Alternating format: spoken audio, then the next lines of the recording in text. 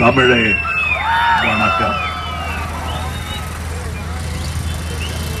கோ இனி கோவை தெற்கு தொகுதியின் முகம் நான்.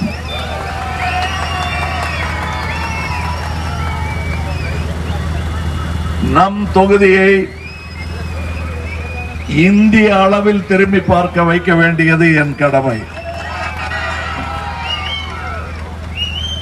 நான் இந்த கட்சியை ஆரம்பிக்கும் போது வீதிக்கு ஒரு மக்கள் நீதி மையம் வீரன் இருக்கணும் அப்படின்னு ஆசைப்பட்டேன். அதாவது இந்த கட்சியை ஆரம்பிக்கும் போது வீதிக்கு நம்ம ஆளு மக்கள் நீதி மையம் ஆள் ஒரு ஆள் இருக்கணும்னு நினைச்சேன். ஆனா இப்ப வீட்டுக்கு ஒரு இளைஞன் இருக்கிறான். அப்படி இளைஞர் யாரும் இல்லாத வீட்டுல ஒரு தாய்மார் ஒரு இல்லத்தரசி நமக்காக குரல் கொடுக்க காத்திருக்கிறார். இது நான் அறிந்த உண்மை. நாங்க ஒவ்வொரு இடத்திலையும் வார்டிலையும் ஒரு அலுவலகம் என்று சொல்லும் முதல் கட்சி இது. அப்படின்னா ஒவ்வொரு இடத்துலையும் உங்க கூட உட்கார்ந்து பேச ஆள் இருக்கும். அந்த செய்தி என்னை வந்து அடையும். நான் என்னுடைய பின்கோடு எனக்கு வர்ற லெட்டர் இங்கே வரலாம். இங்கே ஒரு விலாசத்தை வெகு விரைவில் அறிவிப்பேன்.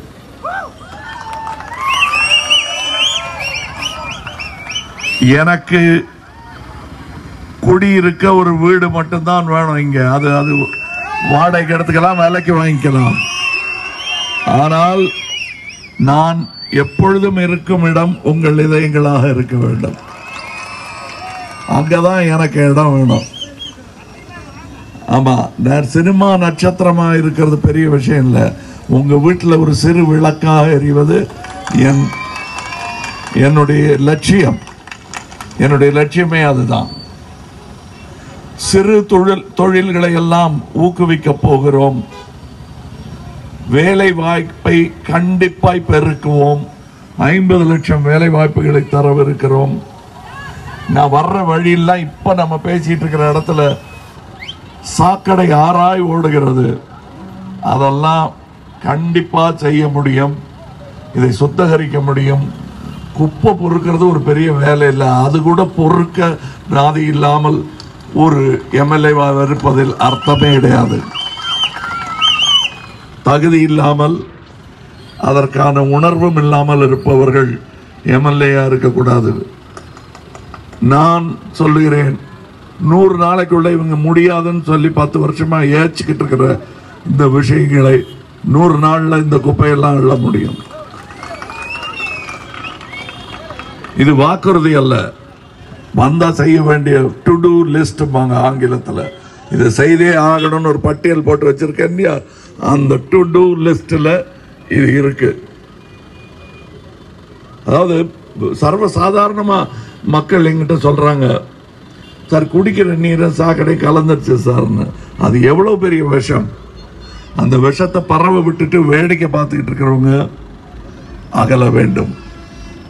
அவங்க நீங்க வேண்டும். ஒரு புதிய மாற்றத்தை நீங்கள் உருவாக்க வேண்டும். என்னுடைய ஆசை கோவையை இந்தியாவின் நம்பர் ஒன் நகரமாக மாற்ற வேண்டும். அப்படி அதை மாற்றணும்னா ஒரு எம்எல்ஏ போதும். பாரத பிரதமர் வேணுங்கிறது இல்லை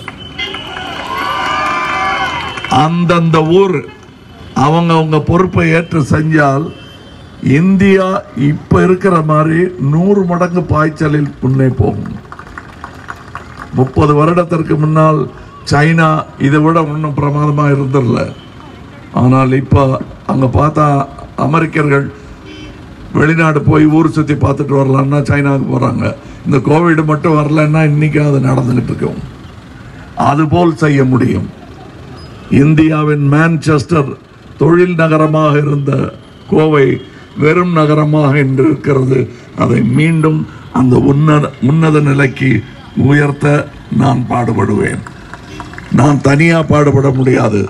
இங்கே இருக்கும் இளைஞர்கள் எனக்கு அதே வாக்குறுதியை நான் கொடுக்கும் வாக்குறுதியை அவர்கள் திருப்பி எனக்கு தர வேண்டும்.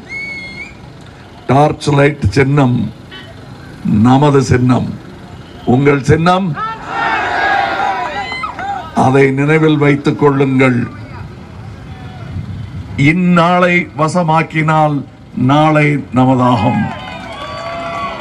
தினம் சொல்லும் மந்திரம். லத்தீன் மொழியில் சொல்வார்கள் கார்பே தியம் என்று. இந்நாளை வசமாக்கு நாளை நமதாகும். அது எந்நாளும் சொல்லும் மந்திரம். நினைவில் வை தோழா சகோதரா நாளை நமதாகும். நாளை? நாளை. நாளை. நன்றி வணக்கம்.